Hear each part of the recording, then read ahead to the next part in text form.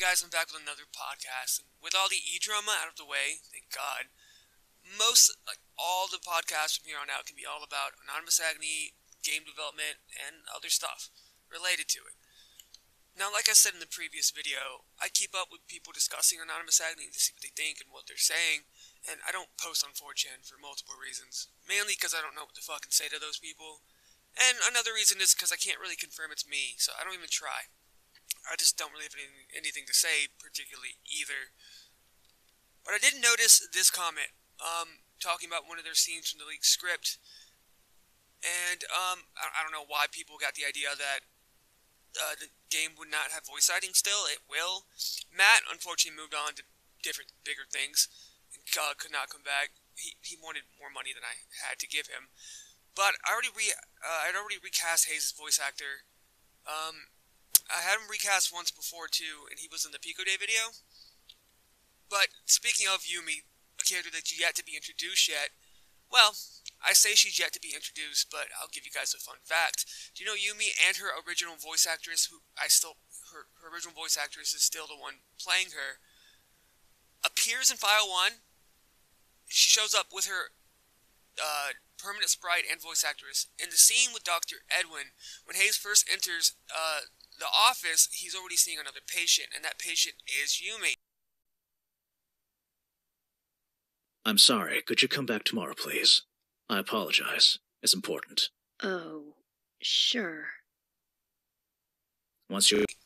I just, you know, I did the little trick that I saw one of my other game favorite games do, and because the players didn't know she was going to be important, I just took her face art away. So I wanted her to be there so people look back they could see her. So surprise, Yumi's in file one with a huge one line of dialogue, which is how she caught wind of Hayes in the first place. Like I've told people multiple times, the ending of Anonymous Agony was planned from the beginning. It was always meant to escalate to much bigger things than just a serial killer killing people. Um, but the good thing about me having the ending plan ahead of time is I could put a lot of stuff early on to hint at it or allude to things coming later. I'm always against writing stories and just doing it as I go along for the most part. I have to have a bigger picture I'm working towards already set in motion, or it doesn't really have a lot of foundation to me. But this, like I said, this gave me lots of opportunities to hide lots of things that hint towards the ending, even in the first chapter, like Yumi showing up. Lots of text messages, stuff on free flow. There's a lot. There's a lot of stuff hidden in file one alone, and I will continue to do that in future files. It's just how I write.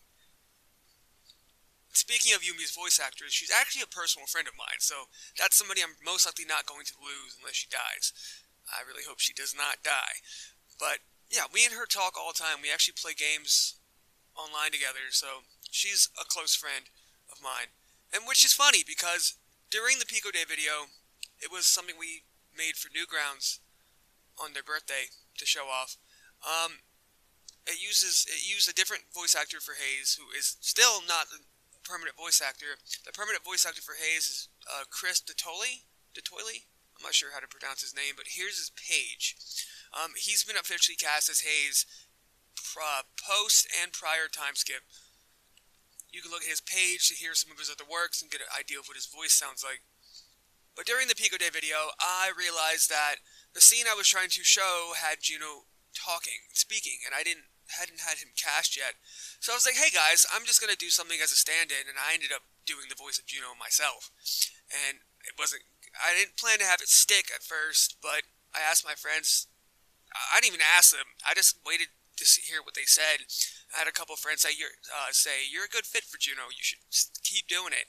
You have a high, nerdy voice just like him. I was like, okay, well, better use it for something then. So I will be voicing Juno in the full game as well save me some money too, so just do it myself. And I've dabbled in voice acting for many years. I just decided to focus on game design over anything else.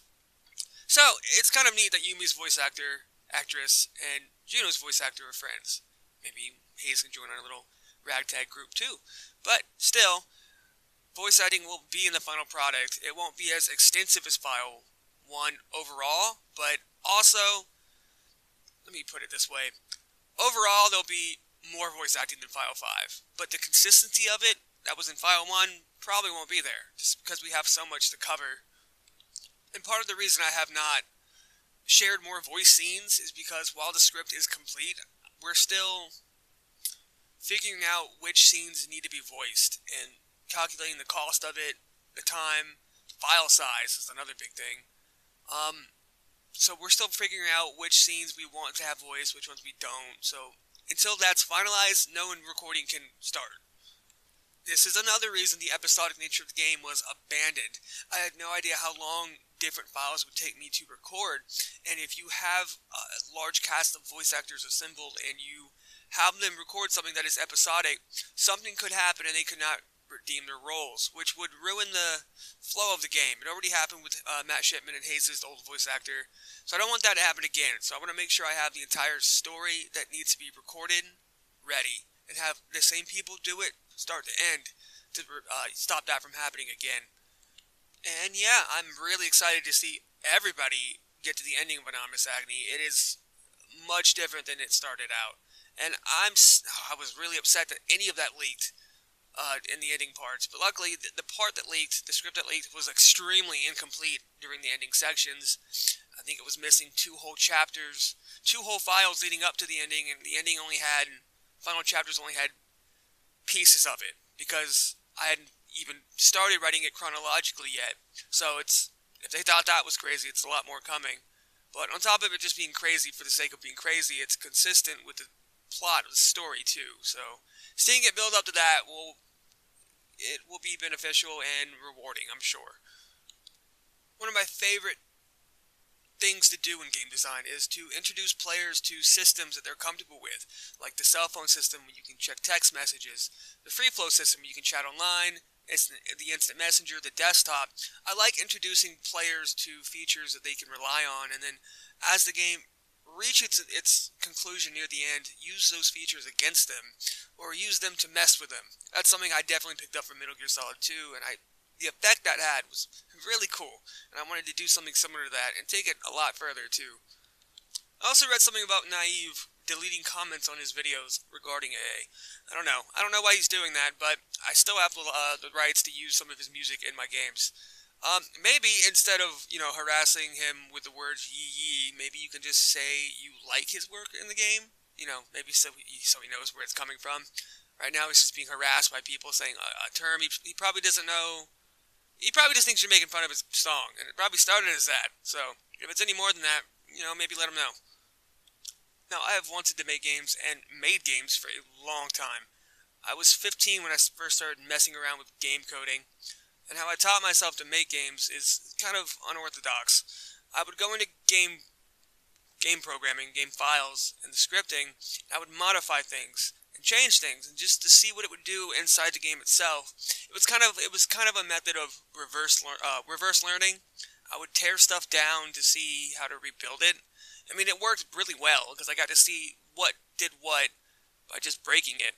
So, if you want to learn how to do game design or start learning some stuff, just take one of your favorite games, something you really, a game you've played over and over again, something you know in and out, and start modifying the programming and seeing what does what. It'll teach you a lot more than you think.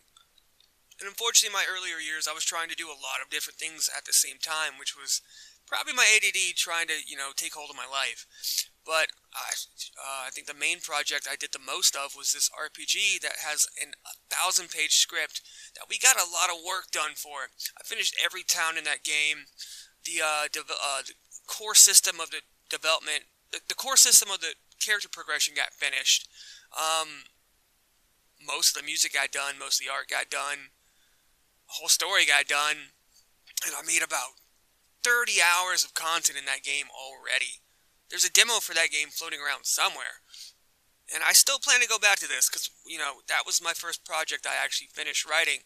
But it's just so gar- it's even bigger than AA, and AA only really has story content. This is a full blown RPG with lots of systems in play. So I knew I needed to kind of work up to that. Plus, because AA got popular first, I knew I needed to focus on that first. So. But AA being so big and the next projects I'm working on being so large, I do want to try my hand at making something a lot smaller you know, making a cheap dollar, two dollar, three dollar game that actually, you know, try my hand at a smaller game. Not to say this game would be low on content. It'd be the same kind of content that's in AA and the same effort would go into it, but it would just be a lot shorter. And I'm not sure if I'm even capable of making something short like that, because usually my brain just gets this big, long, big, huge, complicated thing together. I'm still going to try it too, just to get my feet wet a little bit. I'm not quite sure yet if that's going to pan out, but I've already started work on it and have it done story wise. And it, as it looks, it's going to be about a 45 minute game, nothing long. Hour 45 minutes. I looked to Witch's House, that one RPG Maker game, that one RPG Maker horror game that came out, that got a lot of popularity, and that showed me how good a short game can be, and how impactful. You know, especially with its multiple endings and paths and stuff. And I, I just love horror sprite games. That being said, Anonymous Agony is still going to be my only main priority until it's finished and released. If the other thing does not pan out, it will at least be released as a one shot of some sort.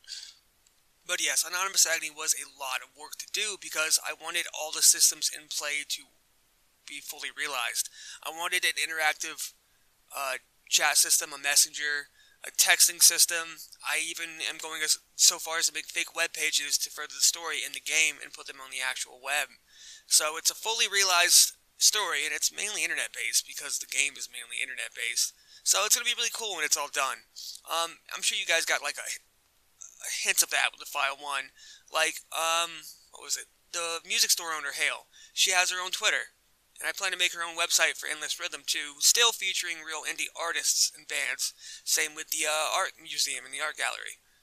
And one of the upcoming podcasts, I'll probably try to have Yumi's voice actress join, uh, join me if she's down for it, and hopefully Hayes is too.